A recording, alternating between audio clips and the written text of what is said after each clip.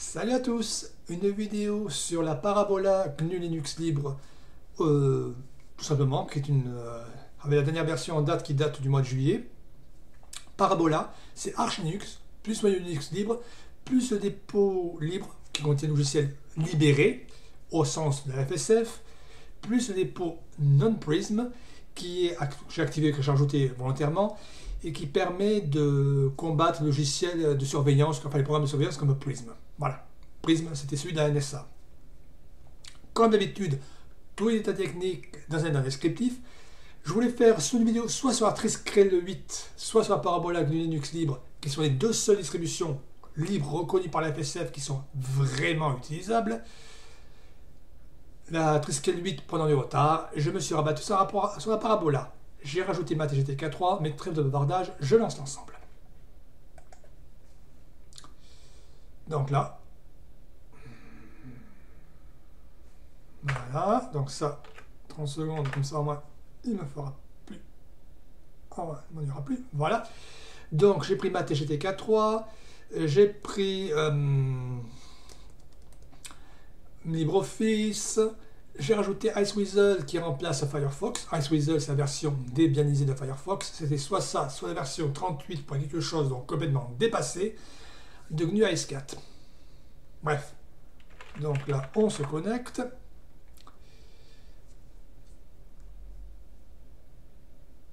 On va attendre que Maté se charge. Comme j'ai précisé dans l'article, il y a eu quelques limitations techniques. Il a fallu que je rajoute les pilotes non libres de, VirtualBox pour avoir un affichage potable. Voilà, donc vous voyez, c'est la version 1.16.0 de ma Desktop sous la parabola GNU Linux. Voilà. Avec un noyau euh, Linux libre 4.8.3. Donc, euh, contrairement à une Arch Linux classique, vous n'aurez pas accès au dépôt AUR parce qu'il contient des méchants logiciels non libres, donc pas de yaourt non plus. Ce qui limite un peu la Logitech. Mais avec déjà la Logitech officielle d'Arch Linux, on peut se débrouiller. Vous n'aurez pas euh, un RAR qui sera remplacé par euh, BSD TAR qui supporte le format RAR, parce qu'RAR est un format non libre. Donc là, j'ai mis Libet, j'ai mis LibreOffice, Iceweasel. La bureautique, j'ai mis LibreOffice Writer. Donc c'est une Archinux tout ce qu'il y a de plus classique, sauf qu'elle est libérée au sens de la FSF, de la Free Software Foundation du terme. Voilà. Donc là, nous avons notre LibreOffice, fraîche, que j'ai mis une version fraîche, c'est plus agréable. Donc apparence, euh, je vais changer l'apparence parce que ce fond d'écran m'irrite un peu la rétine.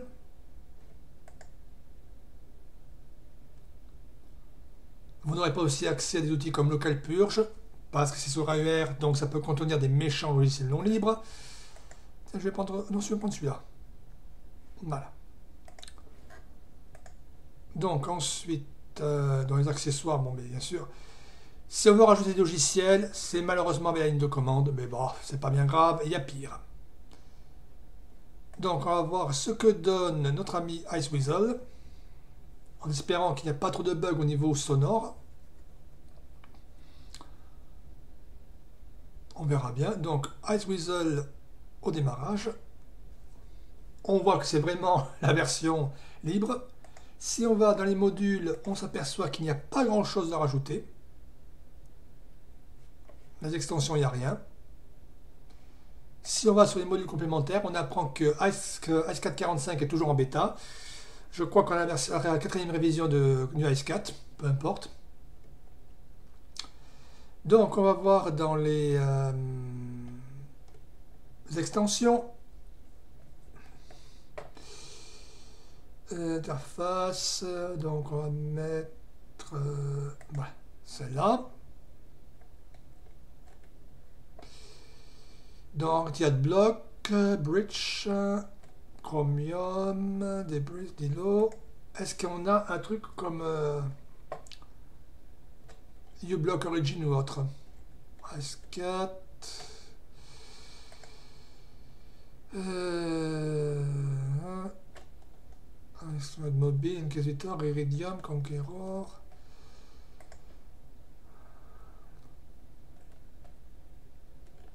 Midori, blablabla, Pastèque, je savais même pas que ça existait. Est-ce qu'on a un outil à la uBlock Origin Ce serait bien. Donc je vais chercher uBlock. On va chercher bloc. Peut-être. Surf, Blockstream, Image Block. Ah, on va chercher AdBlock.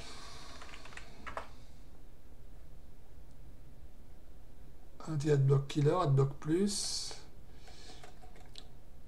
Bon, je vais voir dans les extensions je peux trouver euh, uBlock.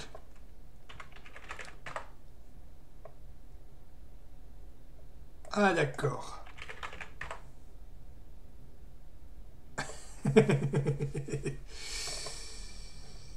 Euh, on va chercher AdBlock avec un peu de chance peut-être. D'accord, extension. C'est pratique. Donc on va rechercher AdBlock Plus, oui d'accord, t'es gentil. Anti-AdBlock Killer.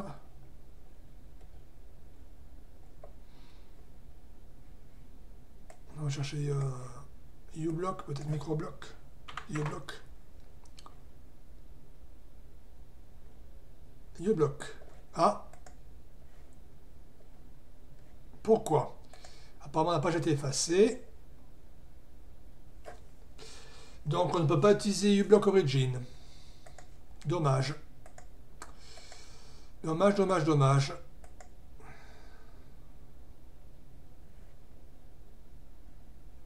Ah, M-Block.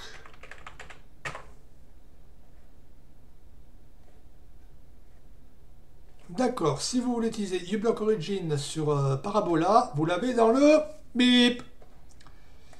Dommage. Bon, on va voir ce que ça donne au niveau sonore. Je vais sur Bandcamp. Voir si quelque chose se lance. N'importe quoi.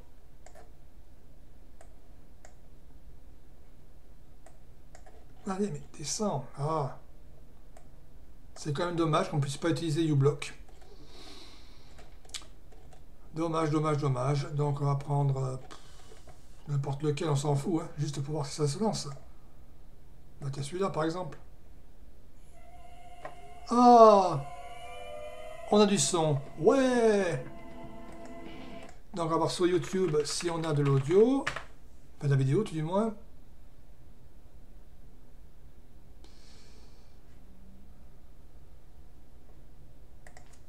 C'est quand même dommage qu'on puisse pas avoir le bloqueur de pub. Comme uBlock qui est quand même plus... Euh, on va prendre euh, l'autre... Euh,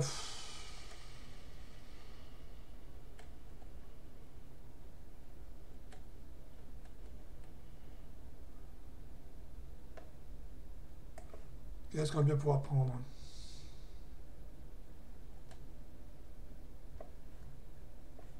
On va prendre le Père Pour si quelque chose qui démarre.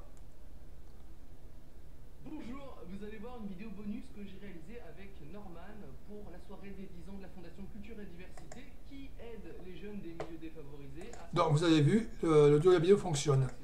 C'est pas si mal que ça. Dommage pour AdBlock. Enfin pour le cocher le son. On va voir quand même si je peux avoir au moins AdBlock Plus, même s'il y a une politique pourrie. Au moins, est-ce que je peux avoir AdBlock Plus? Les extensions Je préférais uBlock, mais n'est-ce pas On va chercher faute de grille. Enfin, on fait ce qu'on peut avec ce qu'on a. D'accord, mes modules complémentaires, modules complémentaires. D'accord. Bloc.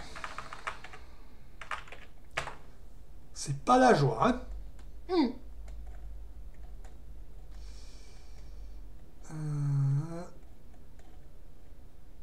C'est pas la joie si on veut avoir un bloqueur de pub. À moins que je cherche mal sur le logiciel. Mais c'est quand même pas la joie.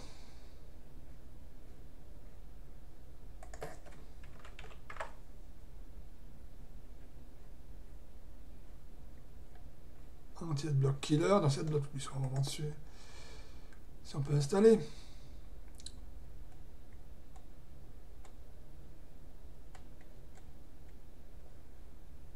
Block Origin. Voilà.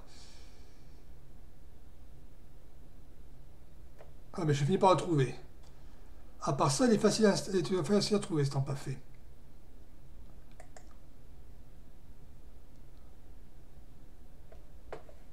Ah, apparemment.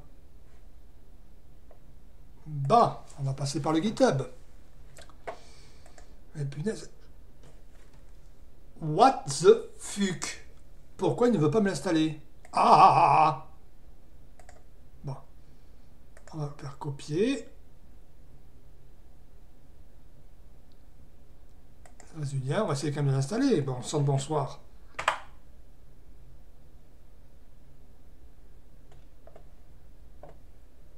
Alors, voyons. Est-ce qu'on peut au moins récupérer le paquet?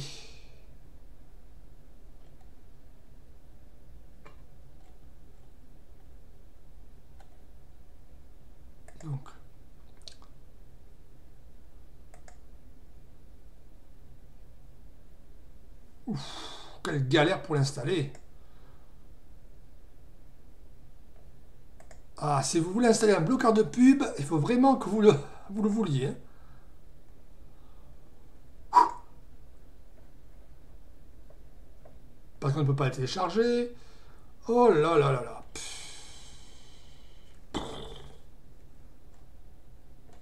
C'est vraiment la croix à la bannière pour installer le bloqueur de pub. Hein. Mais on y arrive. Donc si on retourne sur YouTube, normalement, on devrait avoir moins de pubs. Normalement. Ah, ça va mieux.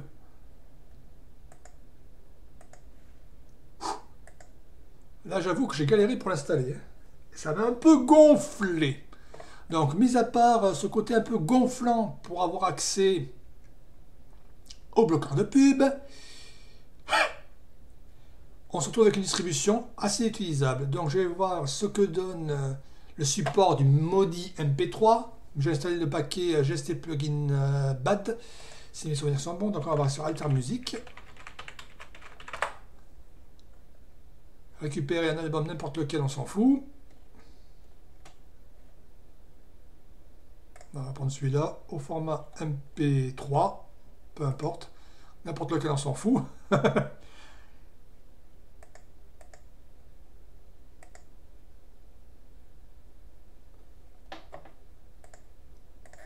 Donc là, on va voir si on arrive à faire fonctionner l'ensemble correctement. Zut. Crotte. Donc j'avoue quand même que c'est assez agréable, modulo que je me suis facilité le transit intestinal pour installer le bloqueur de pub, comme vous avez pu le constater. Alors, on va voir ce que ça donne avec notre ami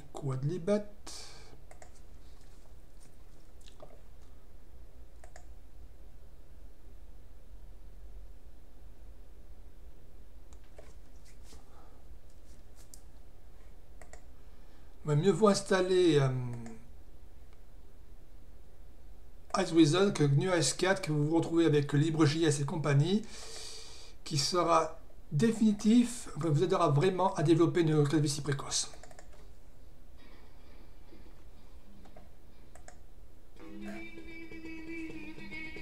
Ça fonctionne, le MP3. Donc là, il n'y a plus grand chose à rajouter. Hein. Mis à part que dommage qu'on puisse pas avoir accès à Yaourt, mais comme ça donne accès à des méchants logiciels non libres, c'est normal. Donc je vais vous montrer le site officiel de la Parabola GNU Linux,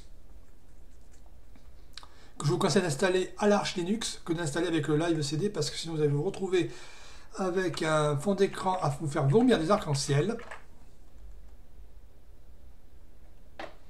Parce que si on télécharge l'ISO live, on se retrouve avec ce fond d'écran à vous faire vomir des arcs-en-ciel. Si vous le voyez en plein écran, voilà à quoi ça ressemble. Si vous voulez vomir des arcs-en-ciel, libre à vous. Moi, personnellement, je tiens pas trop. voilà, donc c'est tout pour cette vidéo. Bon, mis à part, comme je l'ai dit,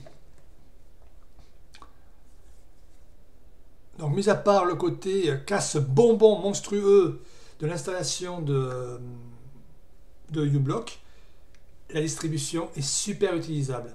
Dommage qu'elle soit un peu chiante à installer parce qu'elle demande un certain niveau. Sur ce, je vous laisse, je vous dis salut à tous et à la prochaine. Bye bye